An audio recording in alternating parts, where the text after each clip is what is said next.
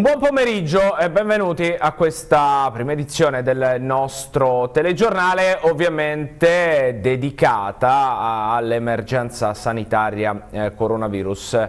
In, in apertura eh, vi riproponiamo alcuni passaggi fondamentali della conferenza stampa che avete potuto seguire proprio su TV6 da parte del governatore della eh, regione Abruzzo Marco Marsiglio in diretta dall'Aquila, 5 milioni di euro alle famiglie, 6 milioni ai professionisti e piccole e medie imprese. Questi sono i provvedimenti deliberati dalla Giunta regionale per dare esecuzione alla legge quadro cura eh, Abruzzo. Noi eh, riascoltiamo i passaggi fondamentali della conferenza stampa eh, di eh, Marsiglio nel servizio firmato per noi da Andrea Costantini. A pochi giorni dall'approvazione della legge quadro Cura Abruzzo, la Giunta regionale dà attuazione ad alcune delle misure previste ed ha approvato con delibera i primi provvedimenti. 5 milioni di euro sono destinati alle famiglie, quelle messe in ginocchio dall'emergenza Covid e che non riescono ad arrivare alla fine del mese. Dall'inizio della prossima settimana sul sito della Regione sarà disponibile il modulo telematico da riempire. Non ci sarà il cosiddetto click day ed è inutile accavallarsi il primo giorno. Le domande saranno selezionate e divise per categorie categorie di priorità. Famiglie che per partecipare a questo bando non dovranno produrre nessuna documentazione. Eh, faranno una autocertificazione nella quale ci rivolgiamo alle famiglie che eh, sui conti correnti propria, del proprio nucleo familiare eh, sommati non arrivino ad avere una liquidità superiore a 2.000 euro, incrementabile di 1.000 per ogni figlio, quindi per ogni terzo, dal terzo componente in poi del nucleo familiare e fino a un massimo per le famiglie che hanno più di tre persone a carico, quindi tre figli o più o più di tre persone a carico tra eh, altri soggetti, eh, fino a un massimo di 5.000 euro di disponibilità sul conto, cioè noi ci rivolgiamo a quelle famiglie che rischiano di non arrivare alla fine del mese e di non avere una minima disponibilità liquida per poter affrontare le spese necessarie che sono quelle per le quali è rivolta questa, questo fondo. Misure anche per professionisti e piccole e medie imprese, 6 milioni di euro a disposizione con eh, domande fatte a sportello. È rivolta alle micro e piccole imprese e ai lavoratori autonomi, cioè a tutta quella parte che eh, diciamo del mondo del lavoro sente maggiormente la crisi direttamente. Dà la possibilità di rimborsare il 40% delle spese di investimento fino a un massimo di 5 mila euro. Questa ha una logica che è proprio quella di stimolare eh, diciamo così, degli investimenti di riconversione, investimenti di riconversione con eh, acquisto di macchine, tecnologia insomma, che può essere utile a fare questo tipo di attività, con una forma che è, come dicevo prima, fino a un massimo di 5.000 euro e il 40% dell'investimento totale fatto. La Giunta regionale prova così a dare risposte lì dove il governo non è ancora riuscito e dallo Stato il Presidente Marsiglio attende un altro segnale per poter liberare altre risorse. Io segnalo di aver chiesto, mi sembrava una proposta molto ragionevole, di sospendere per tre anni il piano di rientro dal disavanzo amministrativo. Questo emendamento presentato al decreto 18, eh, agganciandolo a un emendamento del governo che interveniva parzialmente sulla stessa voce, è stato respinto. Io spero che questa bocciatura sia solo una bocciatura temporanea, perché questa norma da sola ci libererebbe altri 24 milioni anno per tre anni da mettere nella fornace eh, dell'economia regionale. Poi un accenno al fronte sanitario, stiamo aumentando la capacità di fare tamponi e diagnosi, dice Marsiglio. La curva di aumento del contagio è in flessione e le misure di distanziamento sociale sono state importanti. Negli ultimi giorni abbiamo avuto numeri confortanti rispetto alla, eh, al numero dei contagi, rispetto alla curva. Eh, possiamo ben dire oggi che eh, se la curva dei contagi avesse imboccato eh, diciamo, la, la, la, curva peggiore di quella che c'era stata pronosticata nei modelli matematici, oggi avremmo avuto più del doppio dei malati in Abruzzo e quindi più del doppio delle persone in terapia intensiva, negli ospedali. Il vescovo della diocesi di Teramo Atri, Monsignor Lorenzo Leuzzi, invia un messaggio pasquale a tutti i fedeli teramani. Siate forti, vivete una nuova Pasqua e riscoprite la carità. Intanto la Curia si organizza e annuncia che tutte le celebrazioni della Settimana Santa saranno trasmesse su web e televisioni. Tania Bonici Castelli. Questa battaglia al Covid-19 esige un ulteriore doloroso sacrificio che non riguarda il corpo, ma l'anima. Il non poter partecipare alle celebrazioni della Settimana Santa getta nello sconforto molti fedeli ed è fortissimo il rimpianto di non assistere, per esempio oggi, alla processione del Cristo morto a Teramo, un evento ripetuto da secoli. La Curia Teramana però ha attivato i suoi canali social e web per rendere accessibili messe, rosari e momenti di preghiera. Il vescovo di Teramo Teramo, Lorenzo Leuzzi, con serenità invita tutti a vivere una Pasqua nuova e a riscoprire il valore più grande che è la carità. Una Pasqua decisamente in solitudine, molto triste per i fedeli, però la Curia di Teramo si è organizzata per essere presente nella casa di tutti i teramani. Sì, io sono molto contento di ciò che l'Ufficio per le comunicazioni sociali ha realizzato e devo dire che sono certo che da questa esperienza vissuta eh, in questa novità, possiamo dire, comunicativa, io sono certo che sarà una grande esperienza per dare una maggiore testimonianza, un maggiore impegno di missionarietà.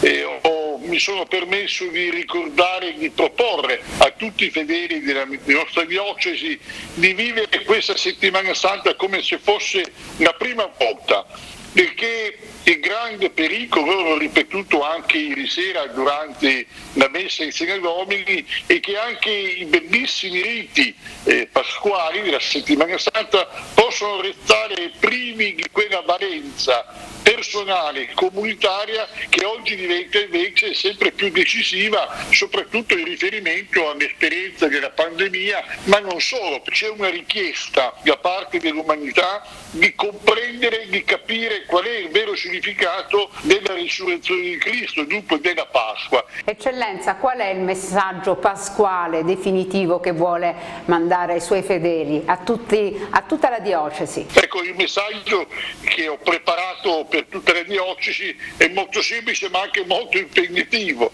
Il risorto ci invita ad allargare gli orizzonti della carità. È un messaggio, ripeto, semplice ma molto impegnativo perché noi dobbiamo superare l'idea che la presenza del risorto e dunque della Chiesa si riduca soltanto all'obbedienza a un semplice comandamento etico che certamente è importante ma la presenza del risorto nella storia invita e sollecita i, i, cristiani, tutti i battezzati che nella veglia pasquale rinnoveranno le promesse battesimali, a prendere consapevolezza che sono chiamati ad animare tutta la società con, quella, con quello spirito caritativo che permetta loro di offrire indicazioni, soluzioni, prospettive per poter costruire una società migliore. Grazie dalla redazione di TV6, un grande augurio e una buona Pasqua. Grazie eccellenza. E le restrizioni per limitare il contagio da coronavirus si ripercuotono, come avete visto, anche sulle cerimonie eh, religiose del periodo pasquale. Si ferma per la prima volta, dopo 370 anni, la processione del Venerdì Santo a Chieti, ma l'arcivescovo Bruno Forte, al termine della liturgia della Passione che si svolgerà presso il seminario regionale di Chieti a porte chiuse, simbolicamente ripercorrerà un tratto del tragitto storico eh, della processione e impartirà la benedizione da piazza San Giustino dove giungerà attraversando da solo Corso Marruccino. Secondo una Vox Populi del, nel 1944, nonostante il divieto imposto dai tedeschi durante la loro occupazione, la processione si sarebbe tenuta in forma ridotta così come accadde anche nel 1956 quando l'abbondante nevicata ne pregiudicò il rito completo. E salta anche la 66esima edizione della processione del Cristo morto all'Aquila con la possibilità di recuperarla a giudizio del Vescovo in altra data, indicando come possibile rinvio il prossimo 14 o 15 settembre. Nonostante questo, la comunità dei frati di San Bernardino e l'associazione dei Cavalieri del Venerdì Santo per dare un senso di continuità all'evento sono riusciti con la collaborazione eh, degli operai del comune eh, a far installare tre croci, le tre croci sul sagrato della Basilica di San Bernardino. Inoltre comunicano che nel rispetto della tradizione del Venerdì Santo i fedeli potranno visionare il suggestivo filmato dell'edizione 2010 caricato sul sito dell'associazione www.venerdissanto.it nella sezione Storia della processione. Dal 1954 è la seconda edizione che salta dopo quella dell'anno del sisma il 2009. E noi adesso apriamo eh, la parentesi in diretta, eh, oggi siamo in provincia di Pescara, per la precisione a Villa Celiera dove vedo Paolo Renzetti a cui do il, il buon pomeriggio sotto un bellissimo sole che accompagna eh, queste giornate. Paolo per raccontarci una storia, quella di Villa Celiera, molto particolare, zona, eh, un paese eh, eh, diciamo limitrofo alla zona rossa ma senza contagi. Esattamente, esattamente. Jacopo, buongiorno, un saluto ai nostri telespettatori, hai detto bene, questa è un'isola felice eh, dell'alta eh, area vestina perché è confinante con eh, comuni che sono in eh, zona rossa ma eh, a Villa Celiera non ci sono eh, positivi al coronavirus e questa è davvero la notizia che rappresenta oggi, che vogliamo rappresentare, di cui vogliamo parlare con il primo cittadino di Villa Celiera, Domenico Vespa. Buongiorno Sindaco, grazie grazie buongiorno, buongiorno per aver accettato il nostro invito. Allora grazie. la possiamo definire eh, isola felice a Villa Celiera, insomma siete circondati da comuni dove c'è la zona rossa e noi eh, abbiamo anche eh, toccato con mano questo perché siamo stati fermati eh, giustamente dai carabinieri eh, qualche chilometro fa, eh, qui invece a Villa Celiera non ci sono positivi e da questo punto di vista questa è una bella notizia. Sì, eh, hai, detto, hai, detto, benissimo, ci troviamo a Villa Celiera, siamo nel cuore del Parco Nazionale del Gran Sasso e Monti della Laga. E noi, mm, come ha detto il, bene il giornalista, eh, ci troviamo al confine di tre zone rosse, che sono i tre comuni confinanti proprio territorialmente con Villa Celiera, eh, Farindola, Montebello e Civitella Casanova, ma a ridosso di questa mh, mm, prima zona rossa c'è una seconda zona rossa che è quella di Penne, che Penne è per noi il centro di maggiore interesse, il centro della Brioni dove i nostri cittadini si recano eh, giornalmente, dove sono le scuole superiori e dove mh, i professionisti hanno i loro studi professionali. Quindi eh, noi siamo rimasti un po' un'isola felice da una parte, dall'altra forse zona nera perché risentiamo un po' delle eh, restrizioni imposte dalle zone eh, rosse. Eh, un po' è proprio vero che la storia, gli eventi ciclici si ripetono, è accaduto come forse quello che hanno vissuto vissuto i nostri antenati, quando eh, per loro il pericolo maggiore arrivava dalle, dalla costa, arrivava dalle vallate sottostanti, quindi eh, l'unica zona eh, sicura era la nostra montagna. E anche oggi quindi le uniche vie d'accesso sono eh, i sentieri della transumanza che ci riportano nella vallata dell'Aquilano, i comuni di Castel del Monte, Campo Imperatore ehm, e quindi eh, resta veramente l'unica zona rossa, no? eh, l'unica zona sicura. Io eh, volevo eh, mm, sotto, sottolineare un particolare che eh, come eh, ha ribadito questi giorni soprattutto il dottor Albani, responsabile di, primario del 118 di Pescara, che in, nelle emergenze da soli non si è nessuno. Ebbene io penso che questo risultato va, vada soprattutto condiviso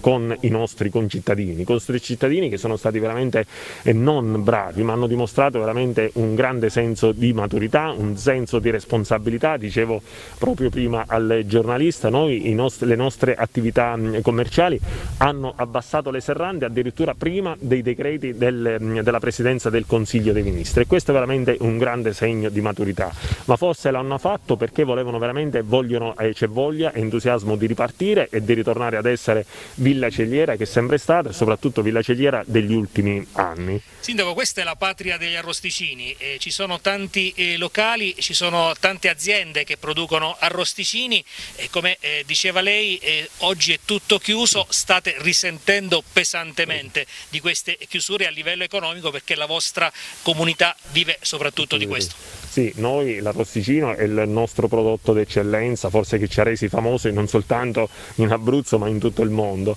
ma eh, abbiamo altri prodotti eccellenze come la molinara eh, che si può eh, degustare nei nostri ristoranti tipici, abbiamo le patate rosse di Villa Cegliera che, sta, che stiamo riscoprendo stanno eh, riacquistando veramente eh, una, una notorietà eh, sempre più inaspettata, però attualmente sono tutti fermi, soprattutto il problema del le, le, persone che lavorano eh, nelle aziende, nelle, eh, in queste macellerie dove vengono prodotti arrosticini sono eh, diverse, eh, basti pensare che la maggior parte del reddito prodotto proprio proviene o dai laboratori di arrosticino o addirittura dai ristoranti che preparano eh, gli arrosticini. Però, eh, ripeto, siamo rigorosi, eh, ci atteniamo alle regole, eh, come amministrazione comunale noi siamo stati ugualmente lungimiranti, ci siamo preoccupati di, di procedere a delle disinfestazioni periodiche, abbiamo soprattutto eh, rintrodotto metodi, metodi che in, in passati più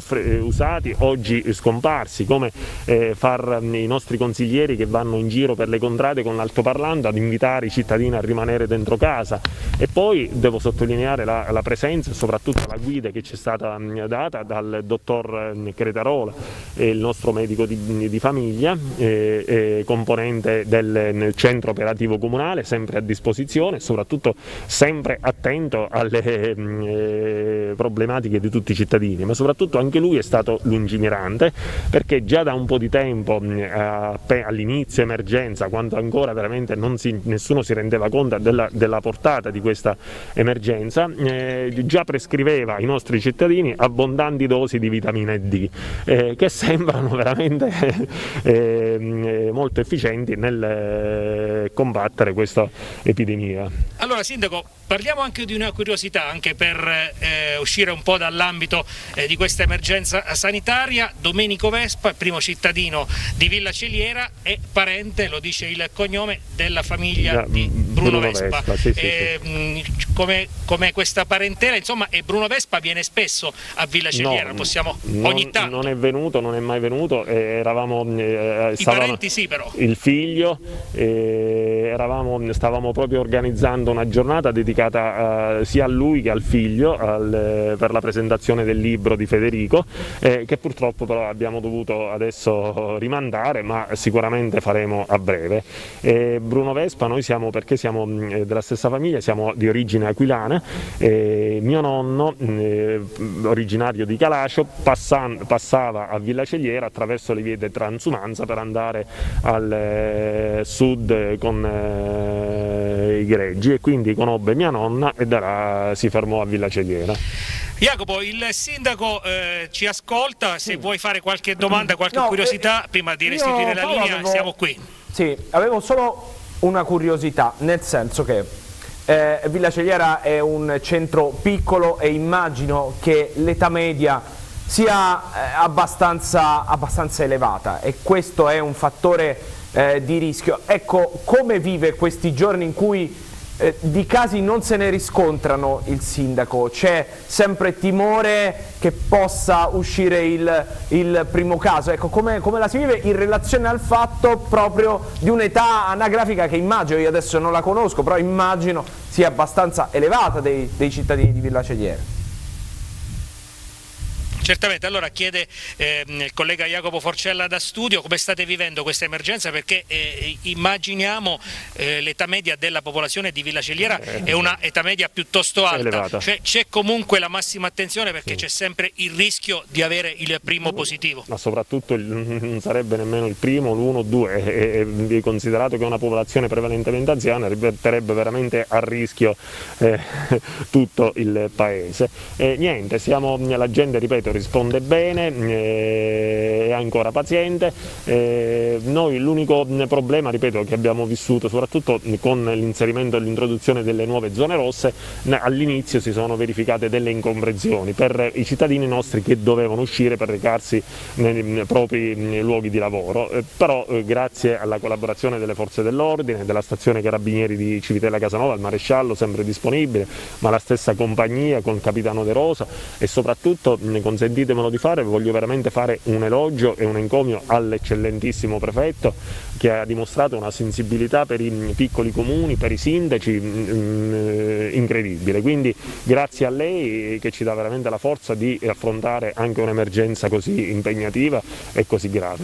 Per Paolo, chiudere Sindaco, prima di restituire la linea allo studio, da parte sì. mia, uh, un'ultima certo, considerazione certo. da parte mia, volevo sapere, eh, visto che comunque un comune come vediamo de, de, dell'entroterra neanche eh, facilissimo da raggiungere, ecco l'approvvigionamento di mascherine, dei dispositivi di protezione che oramai sono entrati un po' eh, nel, nello slang del parlare, eh, nel, nel, nostro parlare quotidiano, com'è, se è soddisfatto il sindaco, insomma...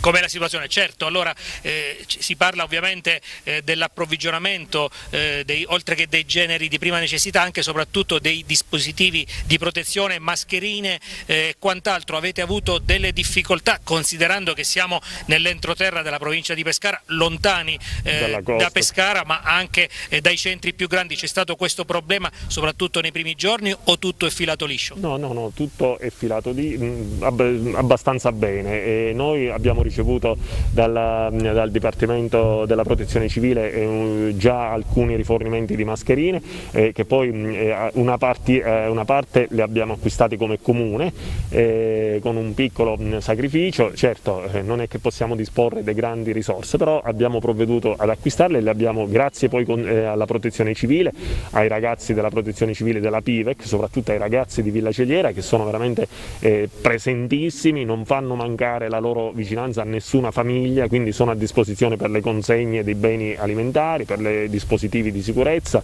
veramente per tutto. Io credo che i nostri cittadini possano essere veramente orgogliosi di appartenere a questa comunità, ma felici di stare a Villa Celiena. E Sindaco, per chiudere, a proposito di orgoglio, l'obiettivo, lo possiamo dire, insomma, di arrivare il più presto possibile alla fine di questa emergenza senza alcun positivo nel centro di Villa Celiera. Ma noi auguriamo veramente eh, buona sorte non soltanto al nostro comune, ma soprattutto ai comuni vicini, ai quali vanno, va la nostra solidarietà, la solidarietà di tutta la cittadinanza, certo. ma a tutta l'Italia. Quindi io penso che possiamo concludere in questo modo, quindi viva Villa Celiera, viva l'Abruzzo, ma viva tutta l'Italia Italia e credo che veramente ce la faremo. E io con queste parole che eh, ovviamente non possiamo che sottoscrivere del primo cittadino di Villa Celiera Domenico eh. Vespa, possiamo chiudere qui il collegamento in diretta con il piccolo centro dell'alta area vestina in provincia di Pescara. Grazie ancora Sindaco per l'ospitalità, grazie, grazie a Loris Bennato per l'assistenza tecnica. Da Villa Celiera la linea può tornare allo studio. A te Jacopo. Grazie, grazie Paolo, grazie ovviamente al primo cittadino di Villa Celiera. Insomma è un caso un po' particolare, speriamo che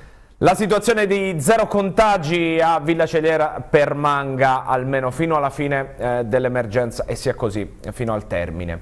Eh, torniamo al telegiornale, adesso si moltiplicano gli appelli da parte degli amministratori locali per invitare i propri concittadini a restare a casa anche e soprattutto nell'imminente periodo pasquale. Singolare e all'insegna dell'ironia quello del sindaco di Francavilla al Mare, Antonio Luciani, che così si è espresso sui social.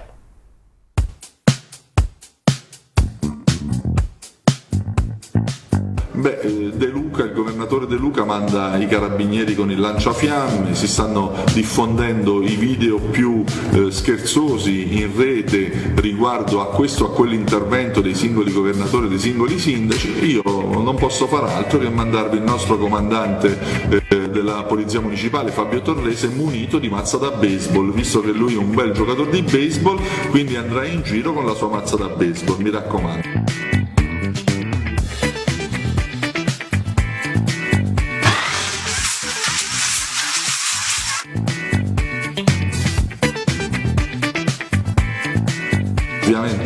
Sto scherzando, ma eh, una cosa sulla quale non scherzo è che sia nel giorno di Pasqua sia nel giorno di Pasquetta noi istituiremo dei controlli in maniera ferrea, eh, ci saranno vigili urbani, ci sarà la capitaneria di porto, ci saranno i carabinieri, ci sarà la finanza, ci sarà la polizia, ci sarò anche io stesso con qualche eh, eh, uomo della protezione civile e con i volontari della protezione civile a controllare il, eh, l'evolversi della situazione sul territorio perché le norme già ci sono, non potete uscire di casa, non possiamo uscire di casa e chi lo fa senza giustificato motivo viene assoggettato a sanzione, quindi ben 300 euro di multa per una semplice passeggiata. E ricordatevi eh, che a Pasqua e Pasquetta i controlli saranno assolutamente fermi e ferrei, così siete tutti avvisati, nessuno può pensare di andare a fare la passeggiata lungo il mare perché è finita l'emergenza, perché l'emergenza non è affatto finita. E per il bene vostro, che sto dicendo queste cose, per il bene mio, per il bene di tutta la comunità. E dobbiamo fare quest'ultimo sforzo, anche per Pasqua dobbiamo rimanere a casa, per Pasquetta ancora di più.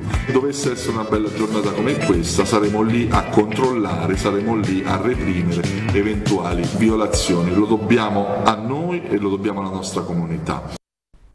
Chiarissimo il sindaco di Francavilla al Mare Antonio eh, Luciani, numeri da record per la polizia locale di Silvi che in un mese di intenso pattugliamento delle strade ha effettuato oltre 6.000 controlli tra veicoli e pedoni eh, elevando ben 37 sanzioni amministrative a chi circolava senza un valido motivo. Sono questi i numeri prodotti dagli agenti della polizia locale proprio di Silvi, un massivo servizio di controllo della circolazione dislocato su tutto il territorio comunale. Ed è proprio nel corso di un controllo effettuato nella giornata di ieri che gli agenti della polizia locale hanno intercettato una persona intenta ad entrare nel territorio del comune di Silvi con oltre 50 grammi di marijuana.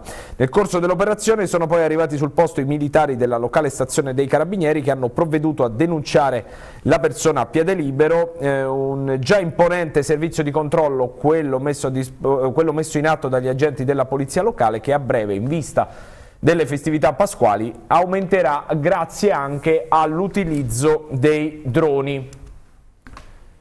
E come è già noto, l'Istituto Superiore di Sanità ha interdetto la raccolta differenziata dei rifiuti ai Covid positivi e mentre i balneatori chiedono di poter ripulire le spiagge, ecco cosa è cambiato in Abruzzo nella gestione dei rifiuti. Giuseppe Dintino.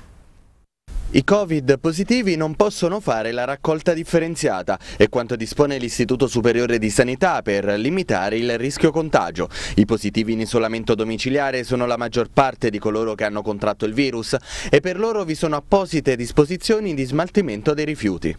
Si è disposto la dismissione della raccolta differenziata e mh, la concentrazione di tutti i rifiuti domestici da parte di queste utenze Covid positive, ripeto, a domicilio, che eh, devono a questo punto immettere tutti i loro rifiuti in un doppio sacco eh, e eh, classificarli rifiuti urbani indifferenziati.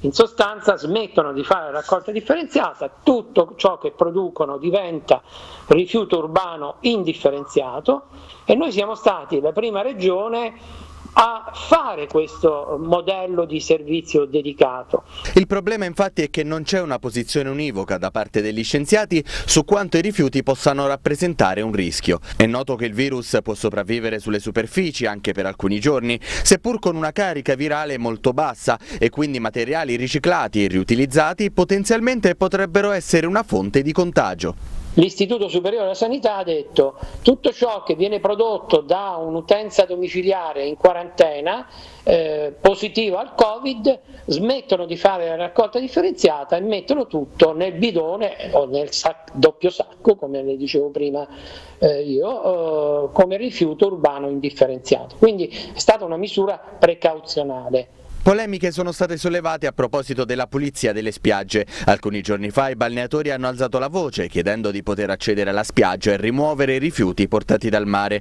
Marsilio ha quindi predisposto un'ordinanza, ma ora dovrà giungere il nulla osta del governo nazionale, l'unico che può allentare le maglie delle restrizioni imposte. Per parte di competenza ecco, del servizio di gestione dei rifiuti abbiamo dato subito il parere favorevole per la rimozione di questi rifiuti. L'ordinanza è stata predisposta, io ho avuto poi notizia ieri da parte del mio direttore di dipartimento che il Presidente si è sentito con il Ministro della Sanità per eh, valutare appunto questa eh, iniziativa e eh, sembra che il ministro abbia detto che uscirà dopo appunto Pasqua, periodo entro cui eh, no, eh, è scattata questa prima restrizione no, delle attività eh, produttive, eh, si deciderà anche su queste attività eh, di carattere turistico-balneare. Ad ogni modo il settore dei rifiuti è uno di quelli considerato strategico.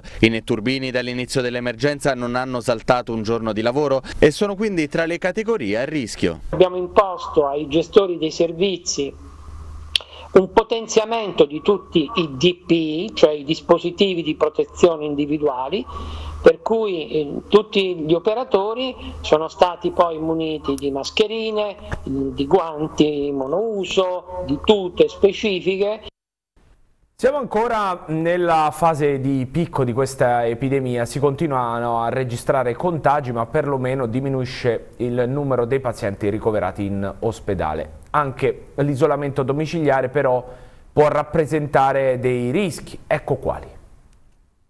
La fase di picco dell'epidemia non è ancora superata. Secondo i dati della regione, in Abruzzo continua ad aumentare il numero dei contagi, ma diminuisce quello dei pazienti ospedalizzati. Significa che sempre più persone Covid positive sono in isolamento domiciliare, sotto sorveglianza attiva da parte delle ASL. I positivi accertati a casa ieri erano 1203. Questo è un dato interessante perché eh, queste persone dovrebbero essere curate in casa, dovrebbero essere seguite in casa, prima di tutto dall'assistenza, e poi perché ehm, eh, creano, fra virgolette, un rischio contagio familiare. Per non intasare gli ospedali, infatti, la scelta dei medici è quella di far rimanere a casa i pazienti meno gravi. Bisogna considerare però che questa malattia tende a peggiorare velocemente e il rischio è anche quello di focolai all'interno delle singole unità familiari, perché in casa non è sempre facile attuare tutti i comportamenti di precauzione. E questo dipende dalle condizioni anche economiche e abitative delle persone. Eh, eh, abbiamo persone che vivono in appartamenti molto grandi che possono dedicare una stanza e un bagno alla persona positiva e che quindi dovrebbe essere isolata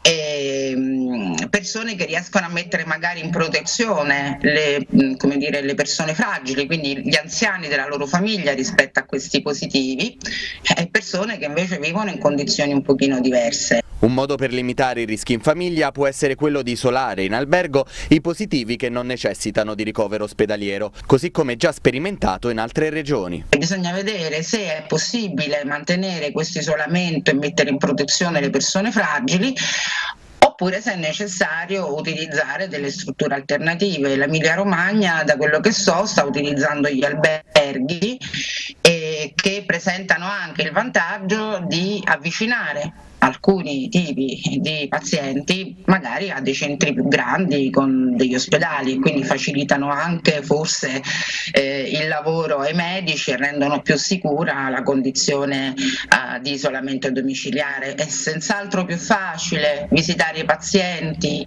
eh, tutti assieme piuttosto che fare il giro dei paesi nelle aree eh, magari montane o nelle aree appunto meno abitate di questa regione. L'emergenza coronavirus quindi porta alla luce una delle contraddizioni in seno alla nostra società, quella della diseguaglianza sociale. Seppure tutti siamo in quarantena, infatti, vedi certo molta differenza tra lo stare rinchiusi in una villa piuttosto che in un monolocale. La quarantena non è uguale per tutti, è certamente molto più, intanto è più dura per chi vive negli appartamenti piccoli, per chi magari non ha a disposizione un po' di verde, un po' di, come dire, no, la possibilità un pochino di muoversi e questo già lo vediamo da adesso negli effetti anche psicologici purtroppo della, della quarantena. Prima di chiudere una notizia, accertamenti da parte delle forze dell'ordine sono in corso a Pescara su quanto accaduto ieri per l'ultimo saluto a Mimmo Grosso, storico leader della marineria del capoluogo adriatico, morto in ospedale con il eh, Covid-19 anche a causa di patologie pregresse dal servizio funebre all'assembramento che si è creato sulla banchina del porto sembra che vi siano state riscontrate diverse violazioni dei decreti del Premier Conte finalizzati a contrastare la diffusione del coronavirus. Gli investigatori stanno ora identificando i presenti che dovrebbero essere sanzionati in base a quanto previsto dal DPCM. Dall'ospedale la Salma ha effettuato un passaggio davanti alla sua abitazione, poi sul molo sud e su quello nord dove era ormeggiata proprio l'imbarcazione di Grosso. È proprio nel piazzale del molo nord che si è creato l'assembramento, gli operatori della marineria hanno fatto risuonare le sirene dei pescherecci e poi si sono stretti attorno ai familiari del loro leader. Decine le persone presenti, diversi anche gli esponenti del mondo politico, seppur a distanza e per pochi istanti c'erano tra gli altri il sindaco di Pescara Carlo Masci, il consigliere regionale Guerino Testa, ex presidente della provincia e il presidente del SIB Confcommercio Riccardo Padovano. A tal proposito sono arrivate le parole proprio del sindaco di Pescara Carlo Masci Mm, che ha detto non ho potuto né voluto sottrarmi all'obbligo e al dovere di un gesto di pietà cristiana al passaggio del feretro di un concittadino strappato all'affetto dei cari dalla pandemia di coronavirus. Non esistono pertanto casi né polemiche da alimentare eh, strumentalmente. Eh, il sindaco ha sottolineato che non ci sono state deroghe ai DPCM, ho incrociato per strada il carro funebre con le, spoglio, con le spoglie di Mimmo Grosso mentre mi recavo in comune per l'assise civica sul lungo fiume nord all'altezza di via Puccini, mi sono fermato in tempo, eh, il tempo di segnarmi con la croce per poi immediatamente proseguire verso il municipio ed effettuare il previsto collegamento online eh, del Consiglio Comunale durante il quale si sono ascoltate attraverso le finestre aperte le sirene delle imbarcazioni per il saluto all'esponente della marineria. E con queste Parole, chiudiamo la prima edizione del nostro telegiornale, vi ricordo che i contributi che avete visto sono disponibili on demand su YouTube, nostra, sul nostro sito web www.tv6.it e anche su tutti i nostri canali social. Prossimo aggiornamento con il telegiornale alle ore 19, per il momento grazie per la cortese attenzione e buon proseguimento di giornata.